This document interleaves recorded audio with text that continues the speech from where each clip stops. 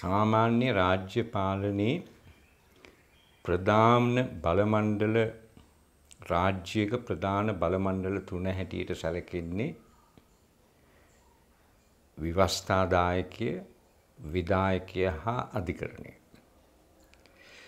නූතන රාජ්‍යයේ හතරවෙනි බලමණ්ඩලයක් ගැන සඳහන් වෙනවා. ඒ හතරවෙනි බලමණ්ඩලය හැටියට සැලකෙන්නේ ජනමාධ්‍ය.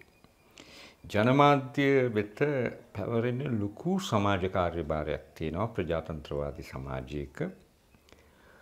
මහජනයාට ඒ රටේ ලෝකයේ සිදුවන දේවල් පිළිබඳ සාධාරණ අත්ත චිත්‍රයක් ලබා දීම තමයි ජනමාධ්‍ය වලින් බලාපොරොත්තු වෙන්නේ. ඒ වගේම ජනමාධ්‍ය වෙත පැවරෙන ප්‍රධානම කාර්යයක් තමයි ඒ සමාජයේ ජනයාගේ රසවින්දන හැකියාව හා විචාර බුද්ධිය වර්ධනය කිරීමට හේතු වන වැඩසටහන් ඒ කියන්නේ ඉදිරිපත් කිරීම. ඇත්තටම ජනමාධ්‍ය ලෝකේ නූතනේ වැදගත්ම කාර්යභාරයක් ඉටු කරන්නේ සමාජ මාධ්‍ය කරලියට එන්න ඉස්සෙල්ලා රූපවාහිනිය සහ ගුවන් විදුලි නාලිකා. ඇත්තටම සමාජ මාධ්‍ය තියෙද්දිත් රූපවාහිනිය හා ගුවන් විදුලිය ඊටාම වැදගත් බලපෑමක් කරනවා සමාජයට මුද්‍රිත ජනමාධ්‍ය වලට වඩා.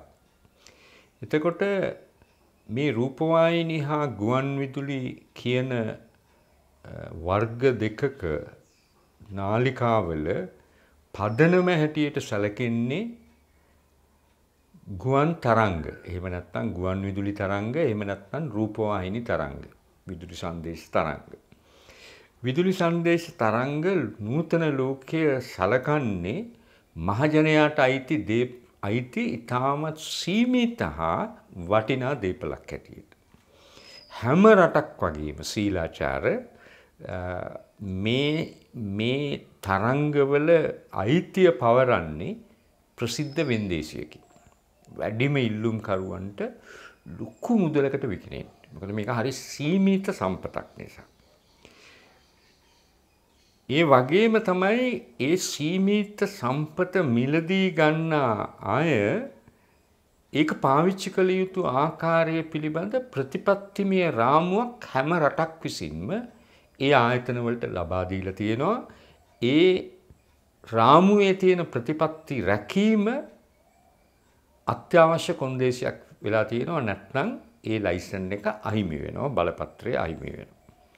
දැන් ලංකාවේ තියෙන ලොකුම ප්‍රශ්නය තමයි මේ සංඛ්‍යාත පවරා දීමේ බලය තියෙන්නේ ජනාධිපතිට. ලංකාවේ තියෙන ආයතන වලින් කිසිවක් විධිමත් ලෙස මේවා මිලදී අරගෙන නැහැ. හැම කෙනෙක්ම අරගෙන තියෙන්නේ කැච කෙනෙක් කරහා. බලපත්‍රයේ ලබන කැච සමහර වෙලාවට රුපියල් කෝටි ගාණක් උපයනවා. දැන් මම ඔය එක ජනාධිපතිවරයෙක්ගේ අවසාන කාලයේ ගෙදර යන දිනේදී විදුලි සංදේශ නියාමක කමිෂමේ ප්‍රධානියා තමන්ගේ නමට බලපත්‍රයක් ලියාගෙන ගියා.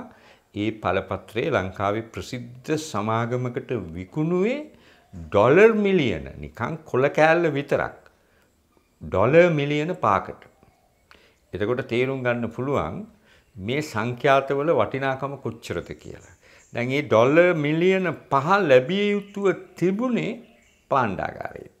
නමුත් අපේ ඒක ලැබෙන්නේ භාණ්ඩාගාරයට නෙමෙයි එක්කෝ ඒ කියන්නේ ඒ ගජමිදුරට එහෙම නැත්නම් ඇත්තටම ජනාධිපතිවරුන්ගේ සාක්කුවට කොටසක් ගියේ.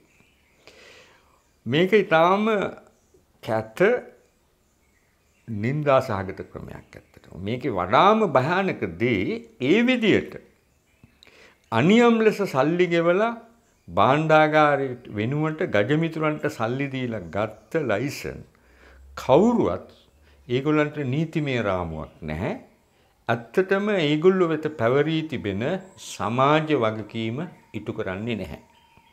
ජනමාධ්‍යත් මේ ලංකාවේ අර්බුදයට එහෙම නැත්නම් මේ යන ගඩාවතේ යන ගමනට වැදගත් සාධකයක් වෙලා තියෙනවා. ඒ කියන්නේ මේ දේශපාලන බලාරගලේ කොටස්කරුවන් බවට පත් වෙලා දේශපාලන නායකයින් සතුටු කිරීම සඳහා මොකද ජනමාධ්‍ය අයිතිකාරයෙකුට පුළුවන් ඉක්මනින් දේශපාලන නායකයට කිට්ටු වෙන්න. දේශපාලන නායකයට ප්‍රචාරය අවශ්‍යයි. ඒ මිත්‍රත්වය හරහා දේශපාලන නායකයාගෙන් ලොකු ප්‍රයෝජන ගන්න පුළුවන්. දේපල මිලදී ගන්න පුළුවන්. ලබා ගන්න පුළුවන්.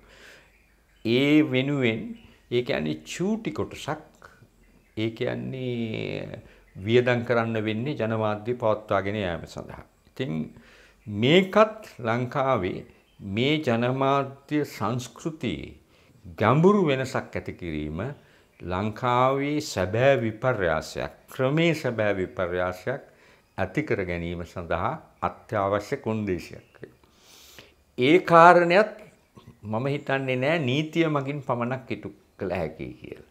මහජනයා දැනුවත් කරලා මහජනයාගෙන් බලකිරීම එන්න ඕනේ මේ ඕගොල්ලන්ගේ නාලිකා ඔක්කොම මෙන්න මේ ප්‍රතිපත්ති රාමුවට අනුව ක්‍රියා කරන්න ඕනේ නැත්නම් අපි ඕගොල්ලන්ගේ නාලිකා වර්ජනය කරනවා කියන මහජන වැඩසටහනකින් විතරයි මේ තත්ත්වයේ ගැඹුරු වෙනසක් ඇති කරන්න පුළුවන් වෙන්නේ.